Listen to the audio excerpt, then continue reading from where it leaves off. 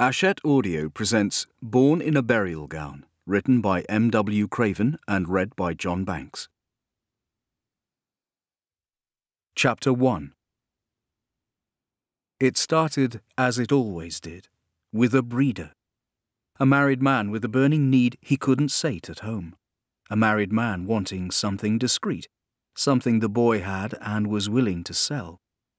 He'd met him in the toilets of a club in Whitehaven Nervous at first, the man had quickly gained his confidence and let out a stifled yell as he finished. After the money had exchanged hands, he'd made the boy a proposition. In no position to negotiate, the arrangements were made quickly. Each transaction the boy made carried a risk, he knew that. He was in the highest risk group of what was statistically the most dangerous profession in the world, but sometimes there were no more choices left. Some breeders paid extra to bareback, increasing the risk of disease tenfold. Others hated what they'd just done and became violent. For some, violence was part of what they wanted, what they enjoyed, as if paying for sex gave them unlimited rights over someone else. The boy's profession attracted a disproportionate amount of sadists. It wasn't just the breeders he feared. Roaming gangs of youths, eager to find someone with no social value to vent their frustrations on, were a constant threat. Even the police had been known to stick the boot in. Sometimes after enjoying the boy's companionship. Occasionally, the violence went further than a beating.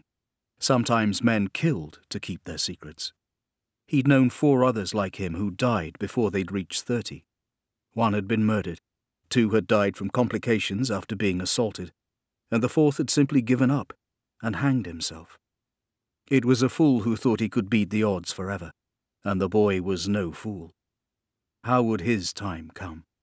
At the hands of a breeder, or in a hospital bed, wasting away? He thought about his own mortality often. But he wasn't thinking about it that night. This breeder had been different. He was kind. He'd found the boy somewhere to sleep. So that night, he was warm, he was safe, and had something to look forward to. Earlier, he'd played the game and won. Now he could enjoy the spoils. That night, he wasn't thinking about death. Perhaps he should have been. Kicked out of the family home at the age of 11, when his stepfather had made his mother choose between them, the boy had spent years in various children's homes before finally being abandoned by everyone. A friend, and despite what had happened to him since, he still thought of him as a friend, had lured him into the trade with promises of more money than he'd ever seen before. For the first few years, his friend had been right. He often thought of what he called his golden age, when the heightened value of youth meant he was in demand. He could charge what he wanted, choose whom he wanted, and always had cash in his pocket. He'd thought he was happy then. But boys in his line of work reach a sell by date. It was a gradual decline. Previously loyal customers moved to younger, fresher products. His value decreased, at the same rate his age increased. Before long, he was struggling to survive. Without the USP of youth, he had no choice but to drop his prices. Ten years earlier, a breeder would have happily paid £200 for an hour of his time. Now he was struggling to get £20 for what were becoming increasingly extreme acts. And like countless boys before him, he tried to blot out the violence and depravity meted out to him. As his drug use spiraled out of control, his appearance deteriorated and his value plummeted until he was reduced to selling blowjobs in dank pub toilets for a fiver a time. Unable to afford essentials such as rent or food, he became a street creature, homeless and penniless, surviving any way he could. In the previous year, he'd been strangled to unconsciousness twice raped four times, and beaten more times than he could count. But two weeks ago, he'd had that break. The man he'd been with had offered him a place to stay during the night, free of charge. The only cost was repaying the favour every morning. A favour for a favour. Somewhere warm and safe in exchange for something he'd done a thousand times before. The boy had happily accepted. He was still there, sleeping safely at night, repaying the favour first thing when the man arrived. The boy had to leave after the act was over, forced to stay away during the day until the place was empty and he could let himself in again. A daily routine he and the man were happy with. Earlier that day he'd scored another job, and surprisingly, the man paid more money than normal. He supposed he was new to the game and didn't know what was a fair price. With cash in his hand and somewhere free to stay, the boy bought the only thing he ever wanted these days heroin. He took the key the man had given him and let himself in. Experience had taught him that carrying as little paraphernalia as possible was preferable to carrying dirty kit with trace residue. Residue was enough to get you locked up on a possession charge, and while brushes with the law were an occupational hazard in his line of work, he never took risks he didn't need to. A new syringe, citric powder, and sterile water, all provided by the NHS, and an empty Coke can were all he carried. Nothing he could be arrested for. Dirty spoons covered in heroin residue were for beginners. Bending the can until it was thin enough to tear in half, he used the concave base as a dish to mix the citric powder, water, and heroin. With his only real possession, a Zippo, he heated it until the solution bubbled and darkened. The real amber nectar. Liquid sunshine. Trembling with anticipation, he drew the brown solution through a cigarette filter into the syringe. Carefully setting it to one side, he removed his trousers. A nurse had once described him as the most unsophisticated injector she'd ever seen, and it had been a long time since his abscess strewn arms and legs had offered up viable veins. He had to inject into his foot, and he didn't need experts to tell him it was one of the most sensitive parts of the body. Flinching at the excruciating pain, he persevered and pushed the needle between his toes. He found a vein and pressed the plunger. The pain was replaced instantly by the rush. This was what he did it for. That perfect moment when he was in his bubble, when nothing mattered but the high, when his ruined life made some sort of sense. That was what the nurses, outreach workers, and probation officers would never understand. Why he would never, could never quit. He didn't want to. For a brief moment in time, he could forget who he was. Why would he not want that? The initial rush was replaced by the familiar warmth and sense of well being that spread throughout his whole body. At peace, he settled down on the carpet to enjoy it for as long as he could. Eventually, his breathing steadied and slowed. The boy slept. A noise woke him. For a second, he thought he'd overslept, and panic set in. He didn't want to upset his breeder. He was supposed to be ready and waiting, with brushed teeth and combed hair. Sitting up, he realized he was wrong. It was still dark. He didn't have a watch, but instinctively knew it could only be a couple of hours past midnight. Carefully, he peered out of the window to see what had woken him. A dark vehicle was parked twenty yards away. The headlights were off, but he could hear the engine running. The internal lights didn't come on when the driver's door opened, but there was enough light coming from the old hospital building for him to see the silhouette of a man get out and stretch. The boy moved closer to the window to get a better look. It was the first time anyone had ever been there after dark. The man walked away, switching on a torch to navigate the darkness. For thirty yards he walked, casting his torch left and right as he searched for something. Whatever he was looking for, he must have found it because the torch stopped moving and shone downwards instead. Apparently satisfied, the man turned and walked back towards his car. A sixth sense, developed over years of avoiding violent punters, told the boy something was wrong, and his curiosity turned to apprehension. The man walked to the back of the car, looked around carefully, and opened the boot. The boy shrank back into the darkness of the room. He instinctively knew nothing good would come from the man seeing him. Apparently satisfied he was alone, the man reached into the boot and dragged out something large and heavy. Despite being twenty yards away, the boy heard a sickening thud as it fell to the floor. It could only be one thing. The boy gasped in recognition. His apprehension turned to abject terror.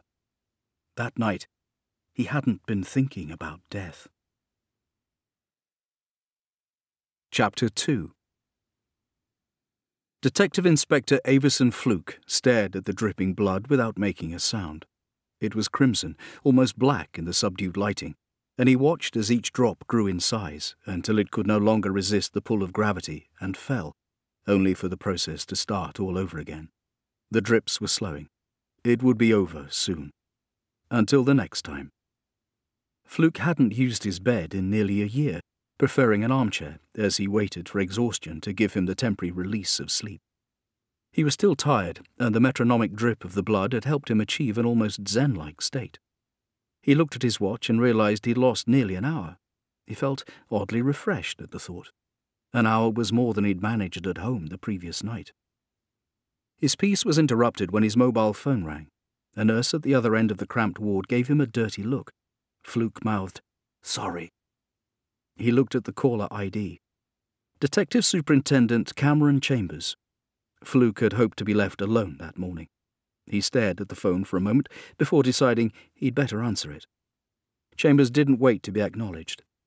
Fluke, where are you? He was the type of man who mistook plain spoken for rude. Home, he replied. Home? What the hell are you still doing at home? It's nine o'clock, man. Fluke didn't answer, and there was an uncomfortable pause, one he knew Chambers would fill. Yes, well, I need you in West Cumbria. There's a dead woman waiting there for you. I'm still on this armed robbery and will be all week, so it's your case. Fluke had seen the bank depot robbery update on the news the previous night and watched his boss being interviewed. There was no way Chambers was giving up that limelight. He had ambitions to be chief constable, and a high profile case like that was a wet dream for him. In his mind, he was earmarked for great things. In everyone else's, he was a self absorbed careerist. Everything he did irritated Fluke. They were going to come to blows before long. Who can I have? Fluke said. Most of the Force Major Incident team were still on the robbery, but he'd need help. He also knew that Chambers equated a big team with importance, so would want to keep everyone he could.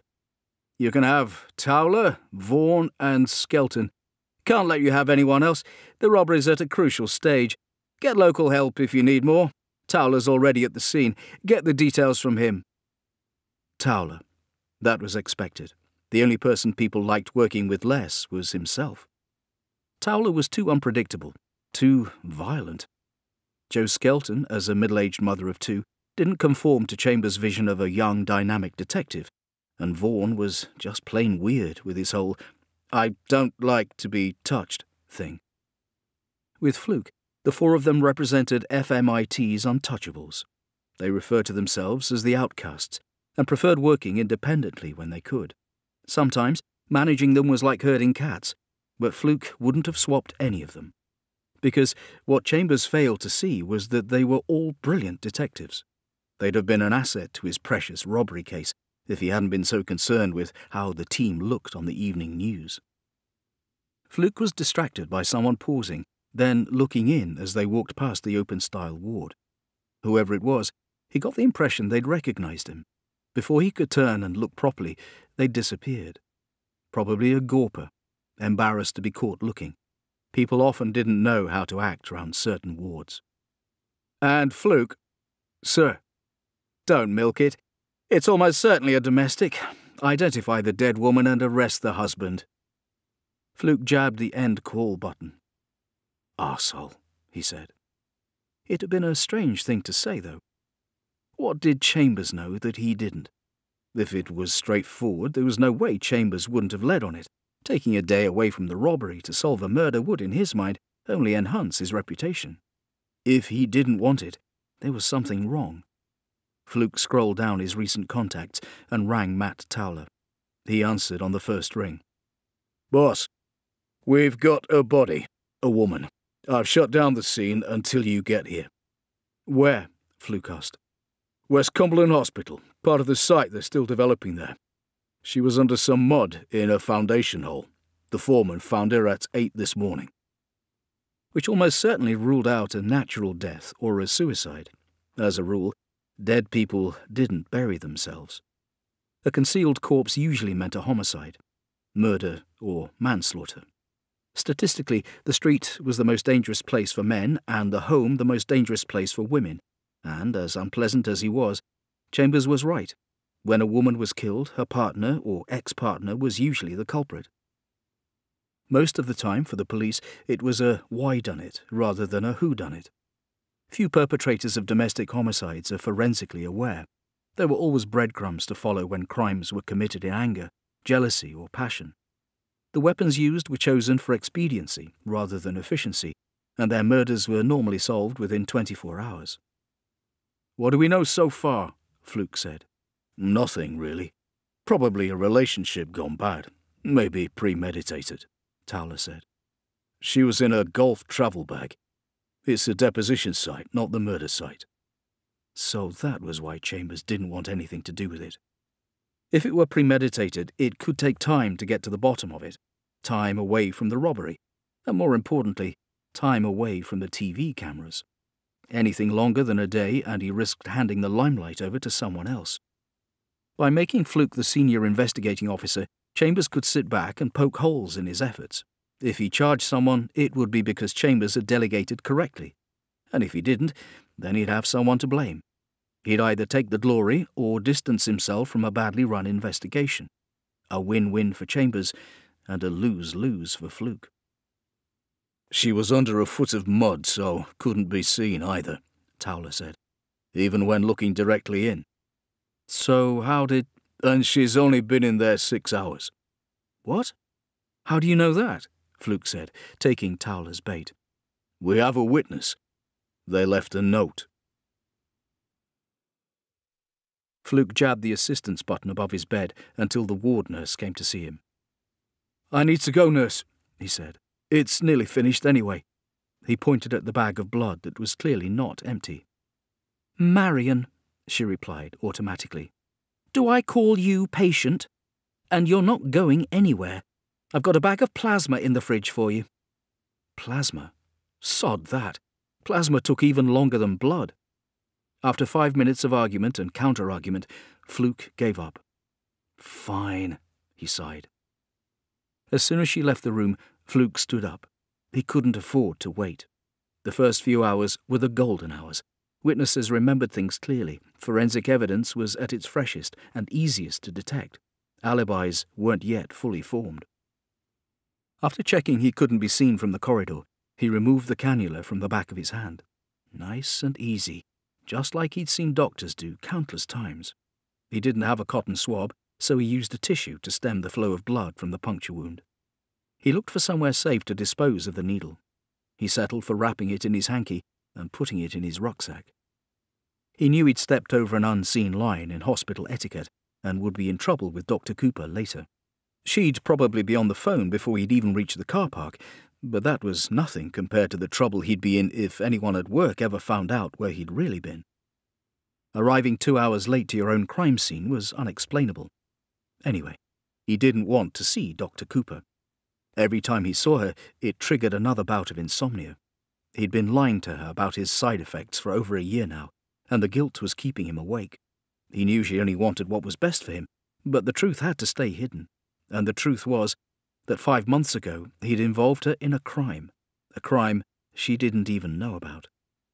He hoisted his rucksack onto his shoulders, avoided the disapproving stare of the man opposite, and walked out of the ward. The more he went to the Cumberland Infirmary, the more it seemed to tire him. Physically, he was getting stronger and stronger, but each time he had an appointment, he came out feeling weary. It didn't seem to matter how much he'd rested or how healthily he'd eaten. Like a badly earthed battery, the hospital seemed to drain him of energy. He put it down to being so sick of them that even being in a hospital tired him.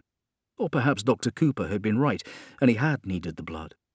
He put it out of his mind, and was out of Carlisle and on the A595 driving west in less than five minutes.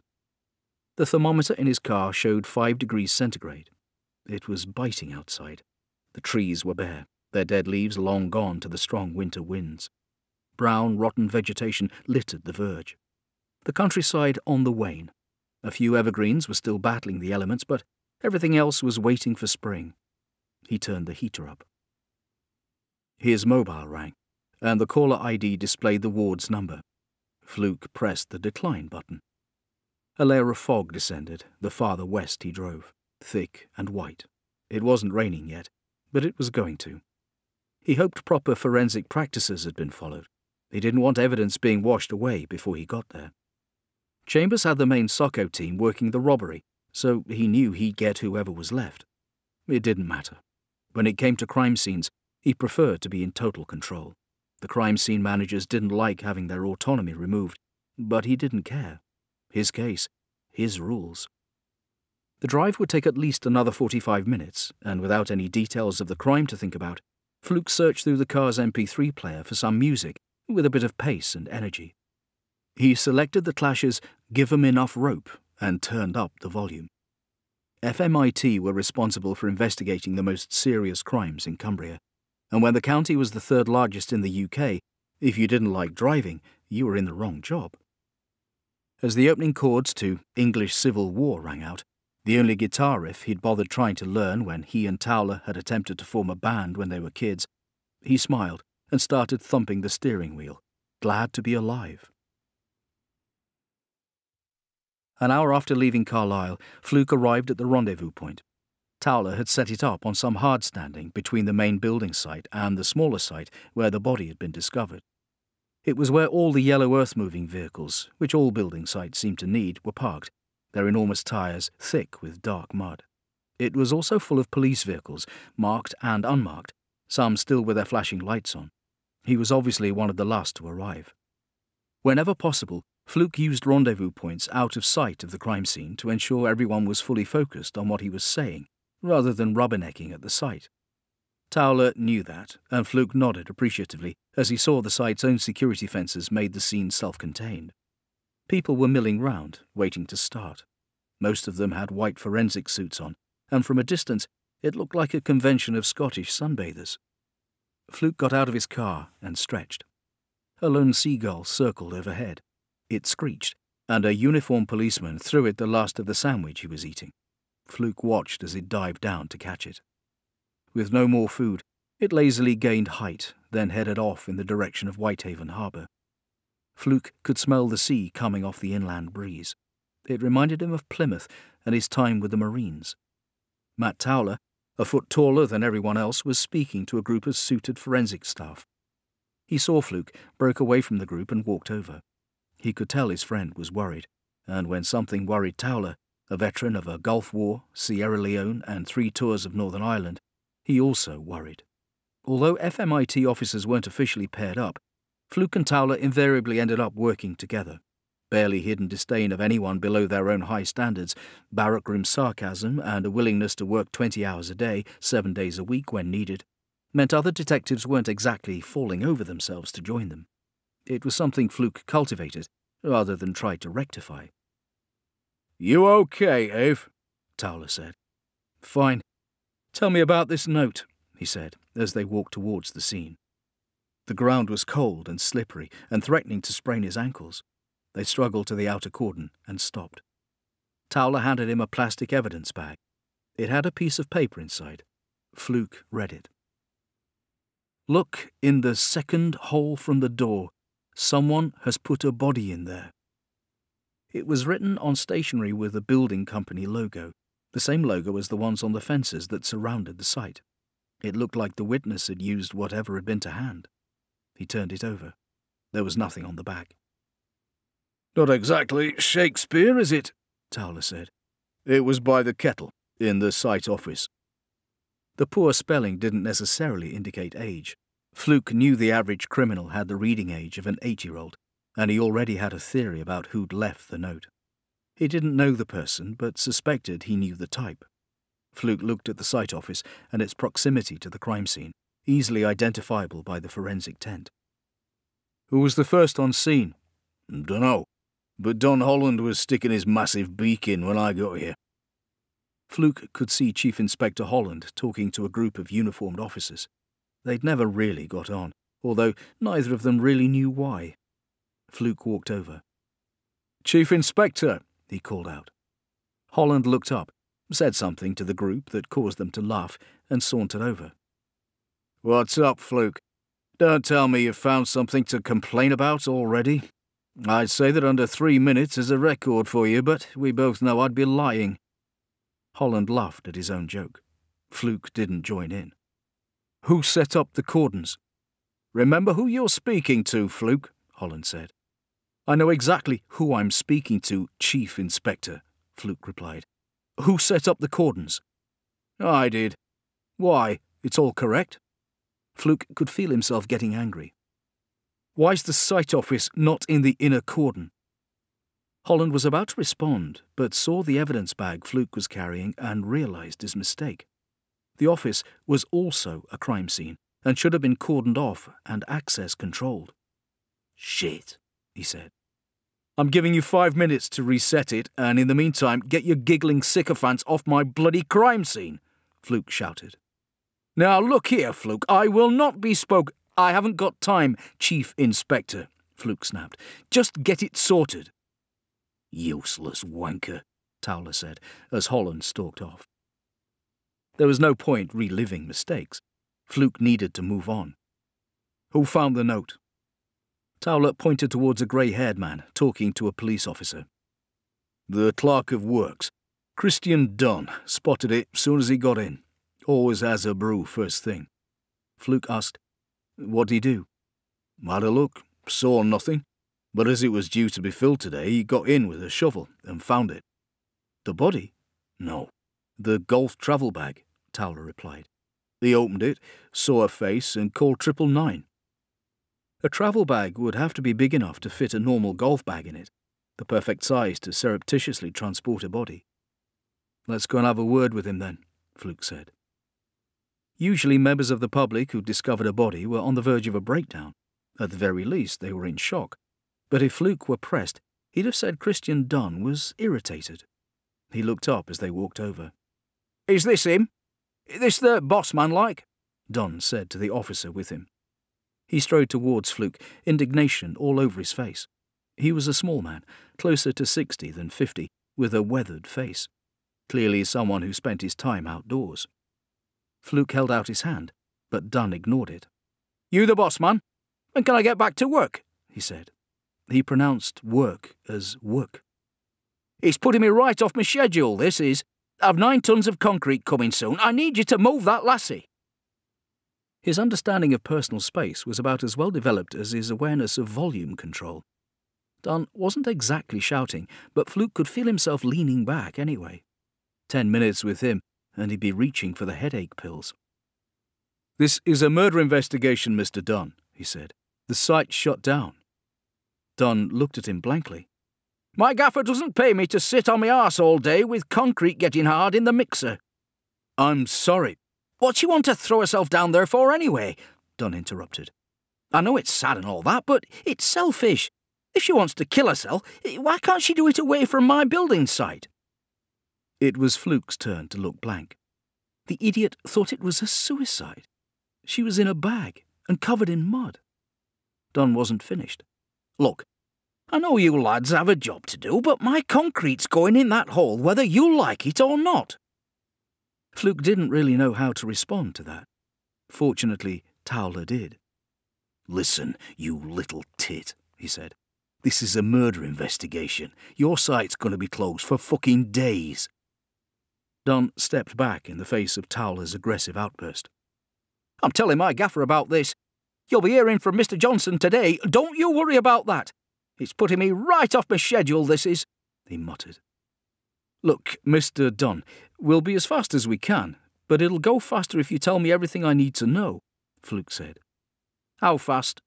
Maybe an hour, Fluke lied. He saw Towler smirk as Dunn looked at his watch. What do you want to know? He said. Tell me about the hole and the office. Dunn explained that the holes were due to be filled with concrete and rubble, part of the foundations for the new outpatient wing. Did anyone have a key to the site office other than you, Mr. Dunn? Fluke asked. For the first time, Dunn looked uncomfortable rather than angry, shifty even. No, why should anyone else have a key?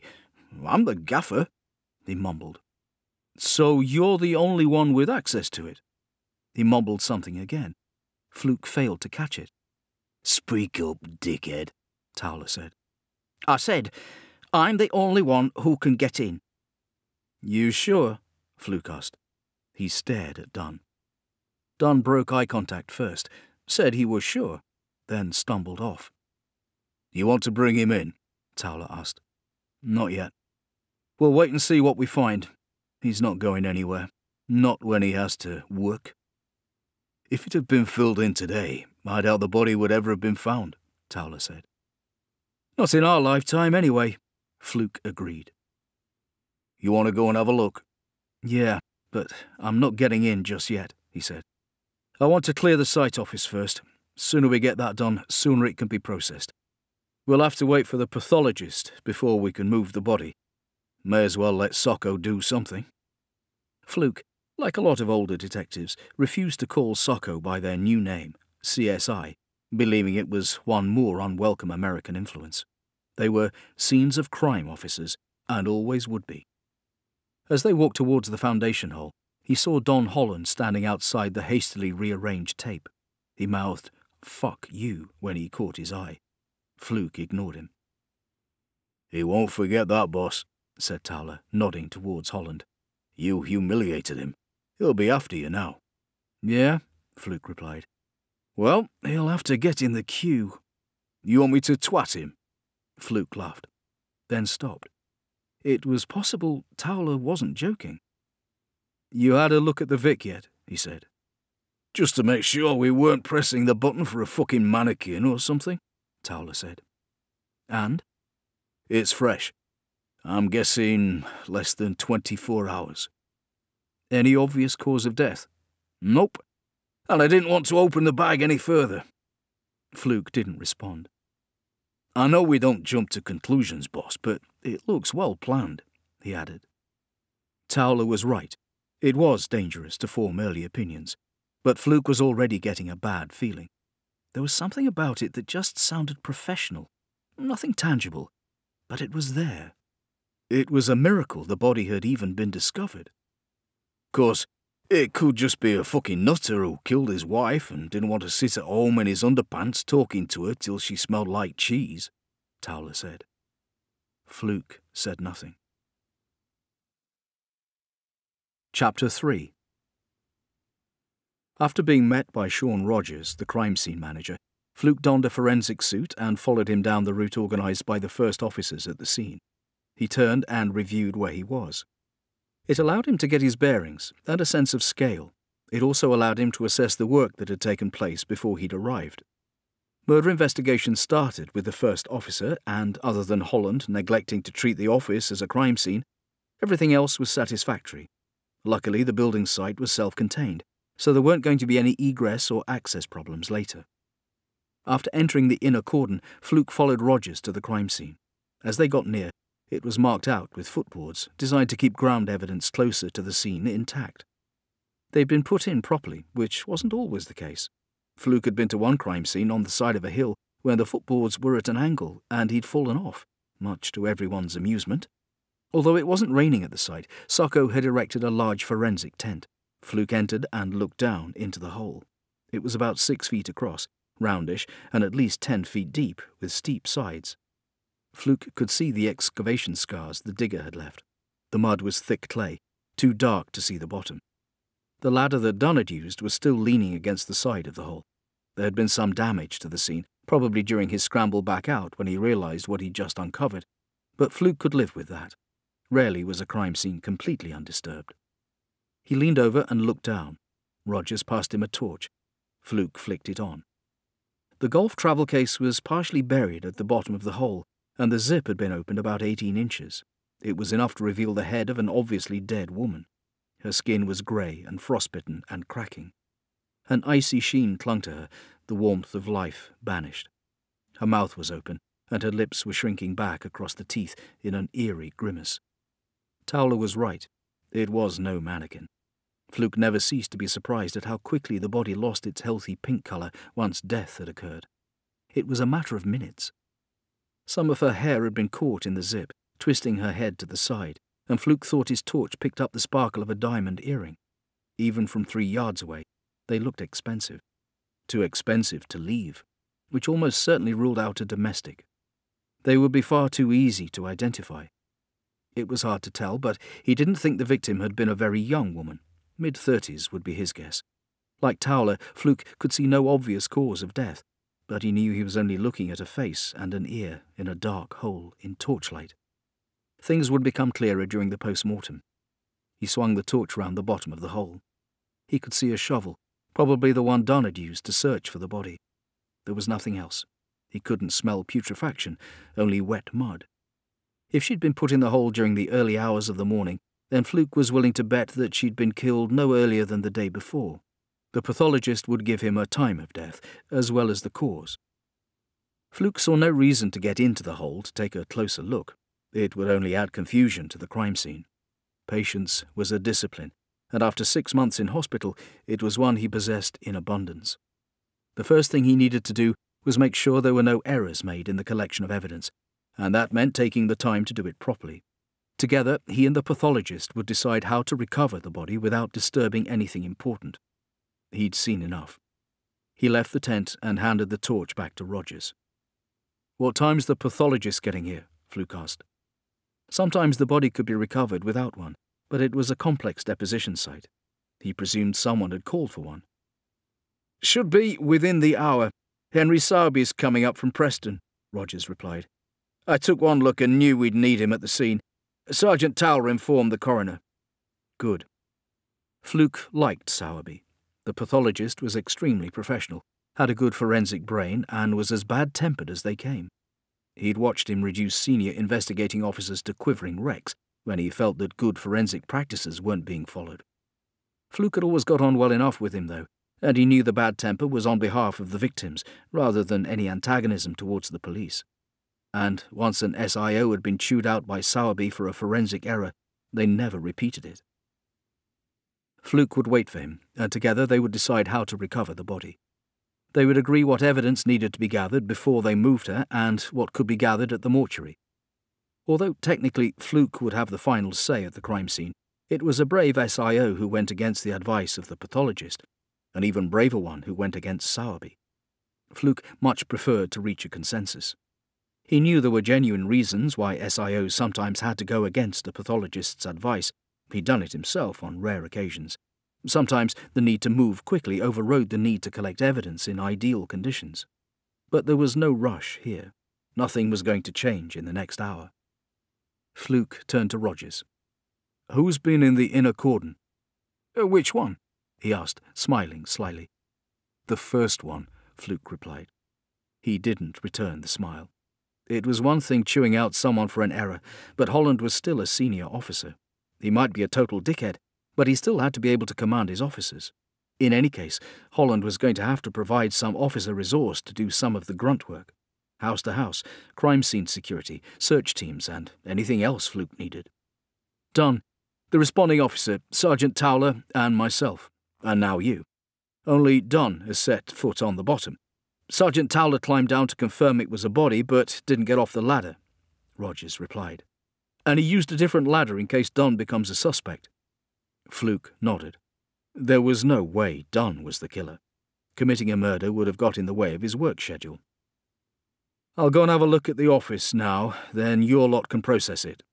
Matt, Fluke said, turning to Towler, can you call Joe? Tell her to base herself at HQ and set up an incident room.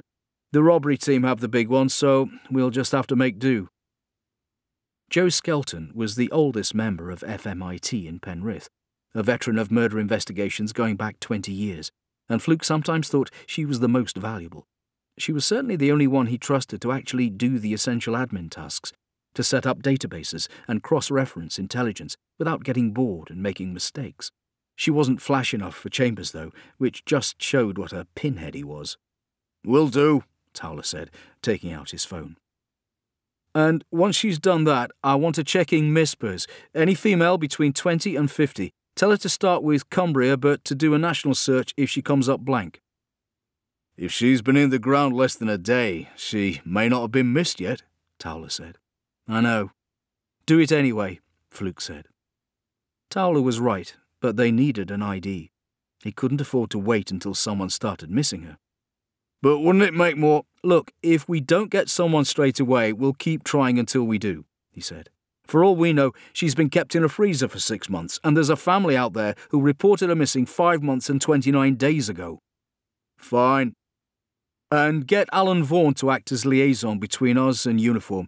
Introduce him to Don Holland and let him know we're grateful for all the help he's going to offer.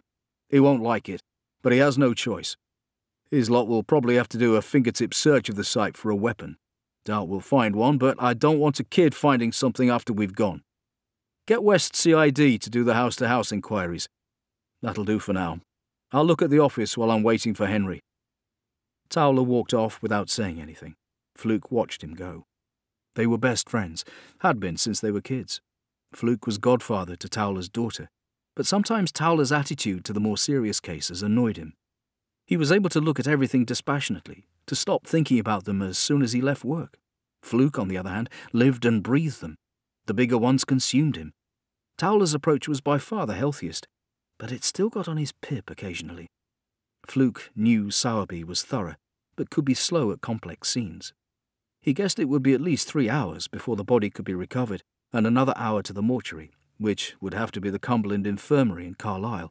It was the only hospital in Cumbria that could cope with forensic examinations.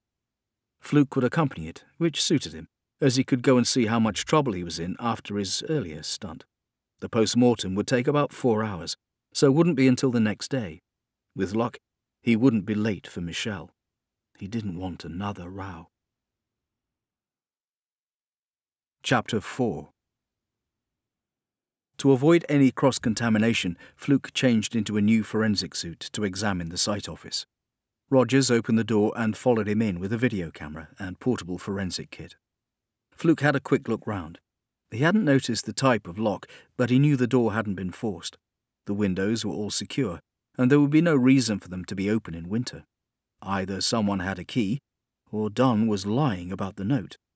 He didn't really know what the insides of Portakabins were supposed to look like, but he imagined they were all similar to the one he was in now hard-wearing carpet, heaters, a small sink, a computer, plastic chairs, and the obligatory kettle. Site plans and Dunn's precious schedules adorned the wall. Nothing remarkable. There was no toilet, but he'd seen a couple of portaloos outside. It wasn't a place to relax in, but a functional office for people whose primary business was conducted outdoors. The note was found here, Rogers said, pointing at the kettle area. The cheap plastic kettle sat on a small table ingrained with coffee stains. There was also sugar, instant coffee, and a bottle of full fat milk. Fluke couldn't see a fridge, so assumed Dunn brought milk in every day. It hadn't been opened, and Fluke guessed Dunn had checked the claims made in the note before he'd made himself a brew. He'd check the statement later. Towler, having finished his call to Joe Skelton, walked in. Fluke let him have a look round. The big sergeant had good instincts. Key, Towler said. That's my guess, Fluke replied. Criminals much preferred walking into a building rather than breaking in. Breaking in left a forensic transfer. It couldn't be helped. Footprints, fibres, hand and fingerprints, even ear prints. He'd heard recently that criminals had a new saying walk in, walk out, referring to the fact that with no forensic evidence, the chances of a conviction in court was slim. Towler said, According to Dunn's statement, he's still got all the keys to the Portakabin. The spares are on the board by the door. My bet is that there'll be one missing. If it was stolen, Don might not have noticed. Fluke nodded, and Towler disappeared to make another phone call. He continued looking, and soon saw what he was searching for. What he'd expected to find. He called Rogers over and pointed to the top of the bin under the sink. The can of Coke was half buried in the debris of everyday life on the site crisp packets, paper towels, and used tea bags. Photograph that can for me, please. He waited a minute while Rogers recorded what was needed. The can was ripped in half. Although he had rubber gloves on, Fluke took a pen out of his pocket and picked the can up through the drinking hole. It wasn't the bit he wanted, but it would still have prints on it. So where's the other half? he said to himself. He carefully removed more rubbish until he found it. It was photographed in situ before he removed it. He turned it over and saw the brown residue on the concave base. Excellent, said Rogers. Heroin? Fluke nodded. Better than a spoon. Disposable. Can't be arrested for carrying a can of pop. You knew there'd be a can? he asked. No, not a can, but I was expecting evidence of drug use. You'd be amazed at the places addicts call home. Rogers put both pieces in separate evidence bags and sealed them. Fluke searched the rest of the office but found nothing obvious. SOCO would spend days going through it with a fine tooth comb and gather any trace evidence. It was time to let them get to work. Fluke thanked Rogers and joined Towler, who was standing outside. So, we have a heroin addict who has a key to this place somehow. Shoots up last night and sees something he knows he shouldn't have. He does his civic duty and leaves a note. Doesn't hang around and make our lives easier, mind, but we can't have everything, he said. That's my take. You think he was alone? Towler asked. You ever seen a shooting house? They're a mess, an absolute mess. Nope. This was one person. He's probably been here every night for a week or so, prime site like this. Out of the way, warm, no chance of getting his drugs taxed by some of the thugs round here. I bet he's been cleaning up after himself, taking his rubbish away with him, so no one's any the wiser. Last night must have shaken him. He panics, forgets his routine, and puts the can in the bin. If there were two halves of a can of Coke in the bin every morning, Dunn would have clicked straight away. He's been the only one in here for a while, so everything in the bin should have been his. No way his prints aren't everywhere, then, Towler said. Everywhere, Fluke agreed. But these Portakabins aren't new. They go from site to site. It'll have hundreds of prints. We'll take them all, obviously, but we'll process the can and the note first. That's how we get him. Or her.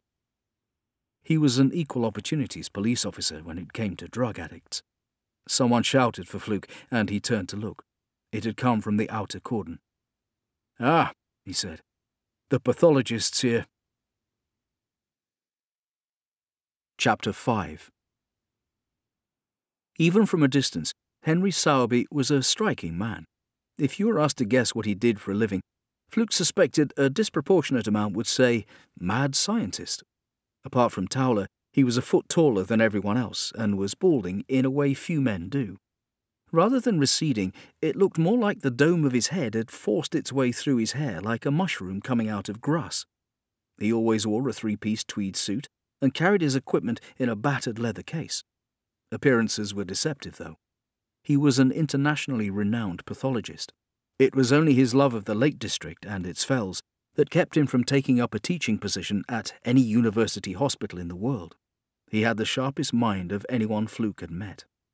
He was waiting at the outer cordon, a young woman with him. His daughter? Fluke knew both of his children had grown up and flown the nest, but that was all he knew. Detective Inspector Fluke, he hailed. Others called out your name, others greeted you, but Sowerby hailed you. The only man Fluke had met who did. Long time, Avison. Glad to see you're back. You had us all a bit worried for a while, he said. They shook hands firmly. So, what do we have here? Sowerby said. Fluke ignored the question. Two of you today, Henry. Ah, sorry, old boy. Where are my manners? Avison, may I introduce Lucy Cheeseborough? Lucy's doing her PhD in forensic entomology and is seconded to our beloved Northwest office for part of her fieldwork. Fluke shook the hand she offered. She looked to be in her mid twenties and appeared small next to Sowerby. She had curly hair, a serious face, and wore round glasses. He guessed her pale complexion meant she probably did more lab work than field work. Still, she gave him a smile, and he saw nothing to suggest she wasn't genuinely friendly. I want permission for her to observe me working, Sowerby said. Of course, he said. People learned by doing things, so Fluke was always helpful when he could be. He'd never met an entomologist before, never mind a forensic one. He didn't think the victim had been dead long enough for helpful insect activity, but it didn't harm to have another discipline looking. Pleased to meet you, Lucy, he said. How many crime scenes have you been to? This is my second. I went to a suicide in Blackburn two months ago, she said. Not technically a crime scene, then, Towler smirked. It was by the time I'd finished, she said. I told the police that the body had been dead at least two days before they thought it had been. Convinced the coroner to do a post mortem, and Henry confirmed it. That she did, Sowerby said. Anything to add there, Sergeant? Towler was trying not to catch anyone's eye. Yeah, well, good then, he mumbled. Fluke liked Lucy Cheeseborough already. As much fun as it is watching Sergeant Towler squirm, uh, can you tell me what's happened here, Avison? Sowerby asked. We've got a body in a bag in a hole, Henry. We think the drop was witnessed by a heroin addict. Matt spoke to the coroner after checking it was actually human. Good man, Sowerby said. Fluke knew he wasn't joking either. He'd heard the story. They all had about a new SIO in Cheshire who had called Sowerby out in the early hours during the Easter holidays to a corpse that turned out to be a decomposed pig. The public dressing down he'd received was legendary. Fluke met him from time to time at the occasional conference, and he turned into a good SIO. But later, in the bar, all anyone ever did was offer to buy him pork scratchings. One of Towler's phrases had seemed apt at the time. If you want sympathy, it's in the dictionary between syphilis and shit. Rogers has erected a tent and put footboards down. I've had a look, but not been in. Other than Matt, the responding officer, and the man who discovered her, no one else has been near, he said. OK. Let's have a chat with Rogers and see what we can come up with, Sowerby said. Thirty minutes later, and without any further incidents, a recovery plan was agreed. While the SOCO team were processing the outer cordon, taking photographs and videos of the myriad tyre and footprints, the uniformed officers from Whitehaven began their fingertip search. Nice bit of laundry for them to do tonight, Fluke thought as he watched them crawling through the sticky, cold mud. Not one of them was smiling, he noticed, but in a command and control structure such as the police, not one of them was complaining either. Not openly, anyway. The ladder Towler had used was still there, and after Rogers had been down to video the scene, Sowerby followed Fluke into the hole, which was just big enough for the three of them to stand without crowding the body. The temperature seemed to be a couple of degrees cooler at the bottom, not as cold as a freezer, but colder than a fridge. It would have taken the body a long time to decompose. Lucy! Sowerby called without looking up to where she was peering in. Keep your hands in your pockets. I don't have any, she called back down, confused. I've got some gloves in the car. It's an expression, dear. Means don't touch anything until you've asked Avison. It's his crime scene, not mine, he replied. He turned to Fluke and said, Now, let's have a look at your victim. He placed a thermometer beside the golf bag to take the ambient temperature. He'd use it to calculate the time of death when he had the victim's temperature to compare it to. Fluke knew in the past he'd have used a complicated chart called Henssge's nomogram, but now, like everything else it seemed, it was done electronically. He probably had an app for it. Sowerby worked methodically, taking notes and collecting samples. Fluke watched him, but he and Rogers had seen it done enough times for it not to fascinate them anymore. He knew nothing that was happening would result in any immediate answers. They were samples for the lab to work on. He busied himself with looking round the hole. It seemed deeper now that he was at the bottom. Looking up at the skyline, Fluke couldn't help feeling that he was in a grave. In a way, he was. After calling out instructions for Rogers to take more samples hair, mud, swabs, and tapings Sowerby stood and stared at the body. Tough one, this, Avison. Can't do the rectal temperature. I don't want to take her out of the bag here. Too much evidence will be lost. Can't do the intimate swabs either. Sean can do the ones on the head, but that's it. Best we can do is protect the head with a bag to avoid losing anything else. Can't give you a TOD yet, I'm afraid, Avison. Fluke wasn't worried. He'd rather have an accurate time of death later than an inaccurate one now. Sowerby looked at the steep sides of the hole. Fluke could tell what he was thinking. How much evidence would be lost when they removed her? What to do, what to do, Sowerby said to himself. It's your call at the end of the day, Avison. We can risk moving her and get everything this lady still has to tell us, or we could try to do a rudimentary examination down here and almost certainly contaminate things. Fluke didn't hesitate. I want her out, Henry. I'm not leaving her in here any longer than I have to. Give her some dignity back. Let's get it done then, Sowerby said, with an appreciative look. You'll need to call your chums in Mountain Rescue. We'll need one of their specialist stretchers. The body was recovered without too much damage, although Fluke and Sowerby winced at every bump and scrape as she was manhandled onto the commandeered stretcher and pulled out of her intended grave. It was taken to the vehicle that would transport her to the mortuary, A private company provided that service in Cumbria. I'll get someone to sit in the van with her on the way back. I'll follow in my car, Fluke said to Sowerby. I'm bringing Lucy into the PM, see what her views are on this. She tells me that if a body dies in the open, it only takes ten minutes for flies to lay eggs in the mouth, nose, and eyes. Lovely, Fluke said. So, depending on what she finds, it's possible she can give us an edge on determining where she was killed. It might help with time of death, too. Fluke turned to look for Lucy, but she was heading back to the car she and Sowerby had arrived in. I've never worked a case with an entomologist before. I've read the manuals and been to the briefings, but I'm not sure of their value yet, he said. It's a tricky one, Avison. She'll be the first to admit that from a forensic point of view, the UK still lags behind the States and mainland Europe. The science is sound, you understand. No one's disputing that. The problem is relying on it in court. Too easy for defence teams to muddy the water with their own experts. Juries here aren't yet ready to convict someone on the say-so of a creepy crawly, Fluke asked, only half joking. There's a bit of that, certainly. She knows all this and accepts the limitations. She was being serious before. She overturned the police view in Lancashire about that suicide. Don't think they have anyone for it yet, but they will, now they're looking. I'm not refusing any help on this one, Fluke said. Excellent. Until tomorrow, then. I've booked the post-mortem suite for ten o'clock. Chapter 6 Chambers rang as Fluke was driving back, and he pulled over in the nearest lay-by. There was no point in risking a pull for using his mobile at the wheel. Gone were the days where you could flash your warrant card and be on your way. We hope you enjoyed this preview.